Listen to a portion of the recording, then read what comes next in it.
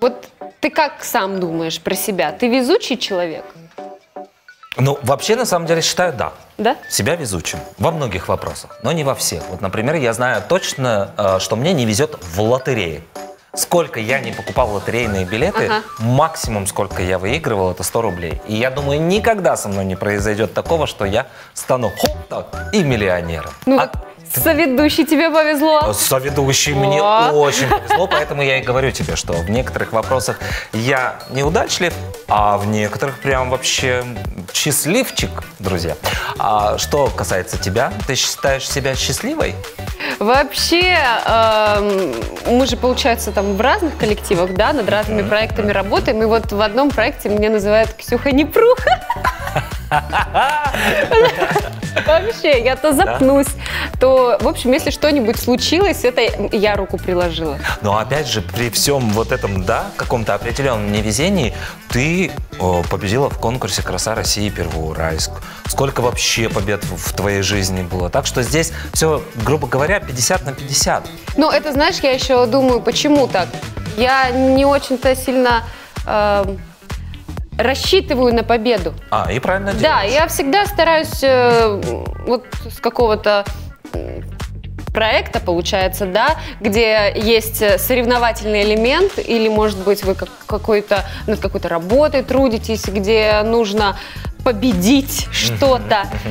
Как-то я сильно... Главное процесс. Главное И- процесс. Да, главный И- процесс и то, что ты вынесешь для себя. Полученные знания. Да.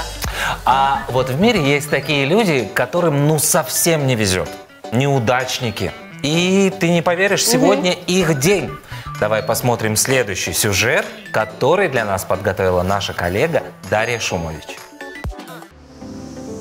Каждую третью пятницу декабря в мире отмечается День неудачника, или, как многие говорят, День аутсайдера. Это веселый и грустный праздник одновременно, а тех, кто не способен сделать и шага, чтобы не попасть в какое-то нелепое положение. Для одних неудача превращается в обыденность, и они готовы улыбнуться ей вместе с окружающими. Для других это источник постоянного стресса, способный вергнуть в состояние депрессии. А как же его избежать?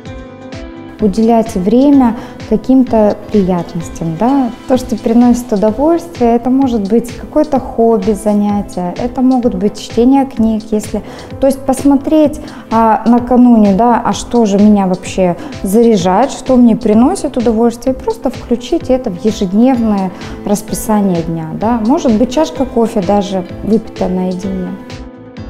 Очистить голову от негативных мыслей поможет спорт. Даже если вы с ног валитесь после 8-часового рабочего дня, уделите время физическим нагрузкам. На самом деле спорт, он дает такую зарядку, заряд энергии. И это может быть, э, тоже надо ну, поисследовать, а что именно мне подходит. Это может быть пробежка, йога, может быть просто какая-то зарядка, тренажерный зал, бассейн. То есть вариантов сейчас масса. Организаторы этого необычного праздника призывают всех людей, за которыми так или иначе закрепился неофициальный статус неудачника, продолжить упорно идти к цели и быть активными. Ведь только так можно преодолеть этот психологический барьер, выйти на новый уровень, доказать себе свою состоятельность и успешность. Научиться правильно относиться к своим неудачам, делать выводы, не впадать в уныние, продолжать стремиться к успеху, улыбаться промахам – трудная задача, но выполнимая. Этот навык отношения к неудачам а, в более такой легкой позитивной форме, он формируется в детстве. Когда, как он формируется? А, Когда мама или папа, да, если у ребенка вдруг случается какая-то ошибка, неудача жизненная, а мама или папа не говорит о том, что как, как, как такое могло случиться, почему, а она наоборот дает поддержку ребенку и говорит, слушай, малыш, ну ошибается, так бывает, ошибки случаются у каждого. И давай подумаем, а что бы в следующий раз мы могли сделать, ты бы мог сделать, чтобы избежать этих ошибок. Либо давай подумаем, а как в следующий раз тебе помочь достигнуть других результатов.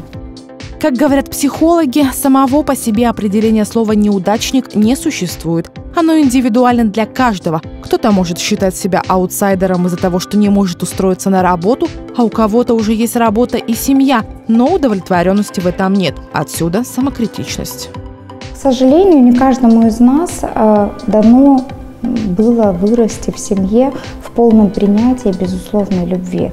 Кого-то из детей любили, любят за то, что они хорошо себя ведут, а, всегда слушаются, получают хорошие оценки, не дерутся в школе. Такой образ идеального ребенка.